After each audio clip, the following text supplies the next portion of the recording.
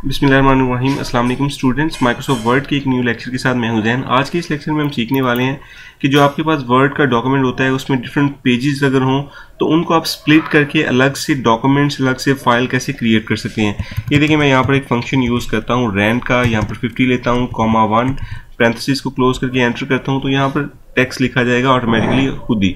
और यहाँ पर हमारे पास नंबर वन पेज है नंबर टू पेज है और उसके बाद नंबर थ्री पेज है। तो मैं ये चाहता हूँ कि ये तीनों के तीनों पेज जो हैं, ये स्प्लिट हो जाएँ और इनकी अलग से फाइल्स क्रिएट हो जाएँ।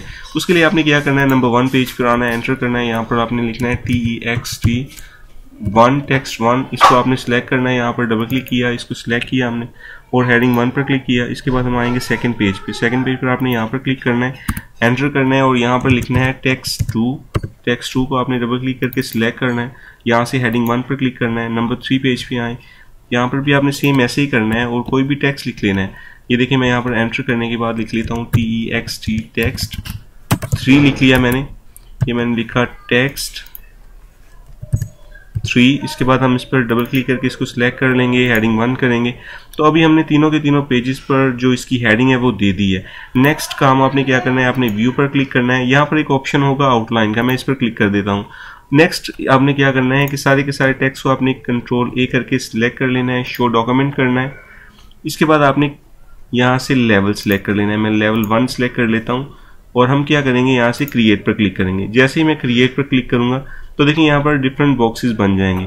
इसके बाद आपने क्या करना है, यहाँ से फ़ाइल में जाना है सेव एज पर जाना है और लोकेशन सिलेक्ट कर लेनी है। मैं ये न्यू फोल्डर की लोकेशन जो है, इसको सिलेक्ट कर लेता हूँ। यहाँ से ये हम एक एम फोल्डर ले लेते हैं। अब मैं जैसे यहाँ पर सेव करूँगा सेव करने के बाद इसको हम क्लोज आउटलाइन करेंगे। इस फ़ाइल को मैं क्लोज कर देता हूँ।